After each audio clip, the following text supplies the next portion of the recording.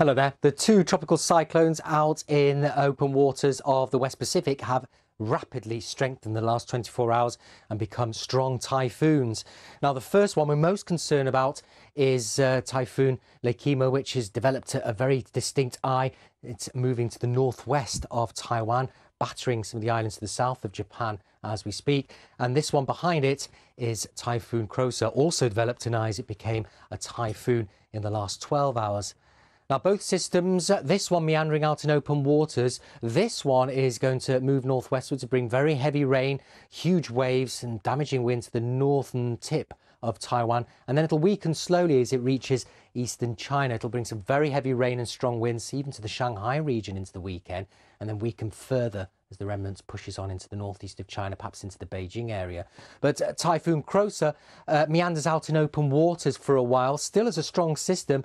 It doesn't get its act together really until we head into next week, so it could be it'll approach Japan middle part of next week to bring some very heavy rain. But in the short term, it's Taipei, Shanghai, which will be bearing the brunt of damaging winds and flooding downpours.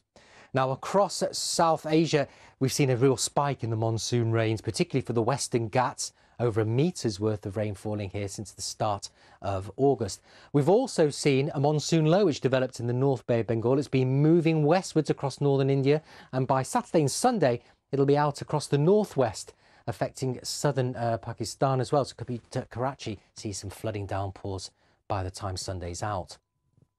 Now behind me is the aftermath of uh, what was a pretty significant landslide near the Lake Como area of northern Italy. Now, this was in response to torrential thunderstorms which have been battering the region during Tuesday and Wednesday, all tied in with this front which moved up from the southwest, battering parts of Switzerland, southern France, and northern Italy. It's been moving on across Austria and into Poland through Thursday, and by Friday, It'll be an area of low pressure across western Russia, bringing some wet and windy weather there. But behind it, pressure builds in, so it looks like it'll kill off most of the showers, although there is signs of more disturbed weather moving in from the southwest into next week.